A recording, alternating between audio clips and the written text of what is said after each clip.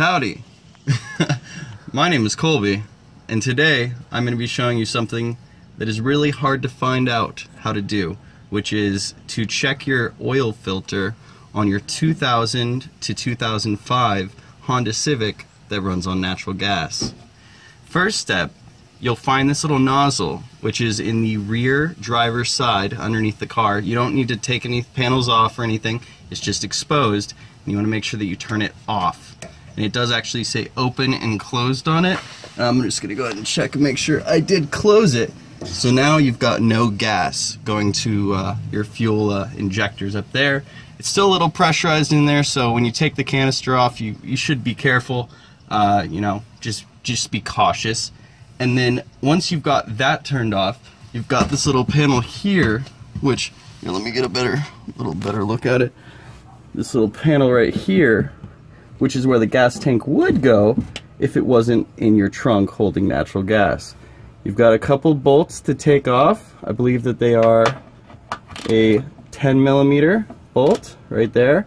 So you want to take this little plastic little panel down. You don't have to take the whole thing off. You just want to get it so that it's on the ground at an angle and then you should be able to get to the canister, which I'll show you what that looks like in just a minute.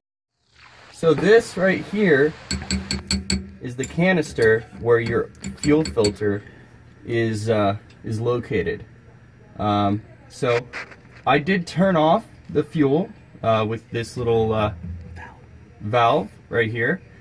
And then what you're gonna do is you're gonna get a size 6 Allen wrench, metric, and you're just going to turn here, turn, and it's a way of relieving pressure to the system.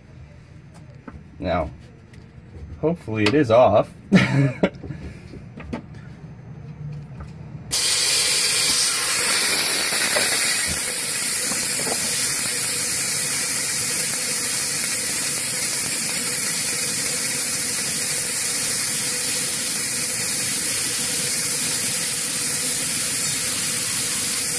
uh,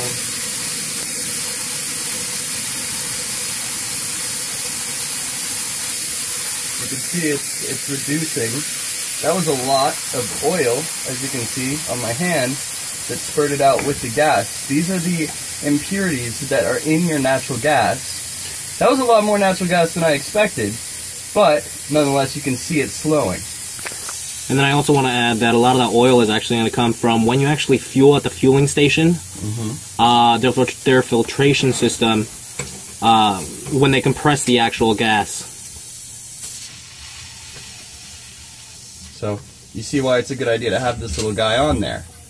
So just go ahead and take it all off and see all of that oil on my hand. That's that's stuff you don't want to get into your uh, your fuel lines. This is not what you want to be spurting on out of your uh, fuel injectors. So now that it's nice and uh, unpressurized, you want to take that guy right off. Set that aside. Some more special. And then the next step is going to be using some locking jaw uh, pliers to uh, grab the bottom of this guy. If you if you can't tell, it's got a little notch in it, and that's so that you can grab it and then loosen it, and then you'll see your fuel or fuel filter. So let's go and do that. Look at how much oil.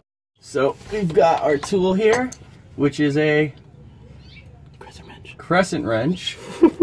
and so what we're gonna do is we're gonna get this guy in that little notch that I mentioned earlier, right? And we are going to loosen it. There we go. And you should be able to do the rest by hand.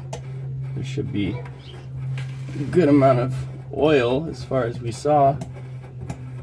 Let's loosen this bad boy takes a while.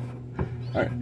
And the whole point of relieving that pressure earlier was so that now wasn't the time where all that pressure came out and it's flying out. So now we've got this little guy here, which is very weighty. Be careful with that. And then we've got our fuel filter, which is right out. And it actually looks to be in pretty good condition considering all that oil that was just uh, accumulated at the bottom. which is why I've done this. Because if this whole thing fills up with oil, then it will dip and soak this little fuel filter. So, but if it, yours was all dirty and oily, you'd want to get a new one and pop it right back on and then reverse. As simple as that. But I'm going to clean this guy out a little bit before I put it back on. I recommend you do too, and you also should check and make sure your O-rings are still sufficient. If not, replace them every time you do this. Alrighty, so we're done wiping out this uh, fuel canister here and inspecting the uh, the filter here. So we're just gonna go ahead and put it back on. Make sure that the threads are correct. You always want to do it by hand at first.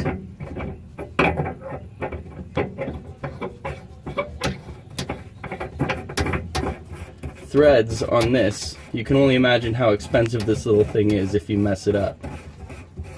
Don't want to mess up the threads on it.